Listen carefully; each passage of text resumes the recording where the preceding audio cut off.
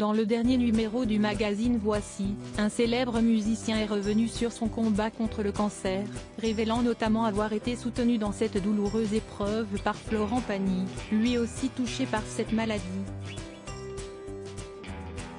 Compositeur culte des bandes originales des films de Luc Besson, Eric Serra propose en ce moment une série de ciné-concerts du Grand Bleu.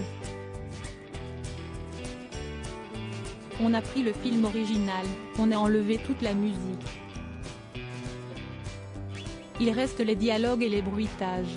On passe le film et on joue la musique en direct pendant le film, vient-il d'expliquer dans le dernier numéro du magazine Voici, paru en kiosque ce jeudi 13 juillet 2023. Une interview durant laquelle il est également revenu sur son récent combat contre le cancer, quand on a eu la chance de scène sortir comme moi, ça remet un peu toutes les pendules à l'heure. Ça élimine plein de problèmes totalement futiles, ça redonne goût à la vie, une énergie incroyable. Bizarrement, je suis heureux d'avoir eu un cancer. Si est une renaissance? Une épreuve qu'il n'a pas surmontée seul. En effet, le bassiste a indiqué avoir échangé des messages avec Florent Pagny pendant leur chimiose respective, il se trouve qu'il était pile en parallèle. Florent a commencé son traitement deux jours avant moi. C'était sympa de pouvoir communiquer, on se sent moins seul, parce que sinon si est une aventure assez solitaire.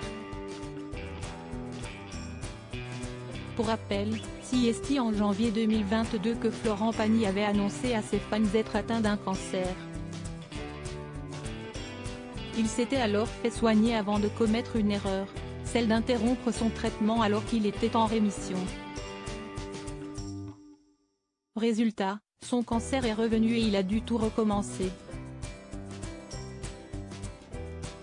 Le mari d'Azucena, avec qui il a deux enfants, un cas, né en 1996, et Ael, né en 1999, vient d'être parler pour la fringale culturelle.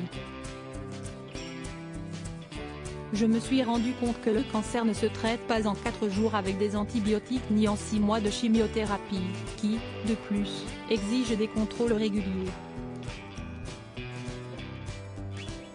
A-t-il reconnu, lui qui assure désormais qu'il n'ira plus jamais à l'encontre de l'avis des médecins. Mais malgré cette erreur, il va mieux. Il a d'ailleurs prévu pour cet été de nombreux concerts. Le prochain se déroulera ce dimanche, à Tarbes.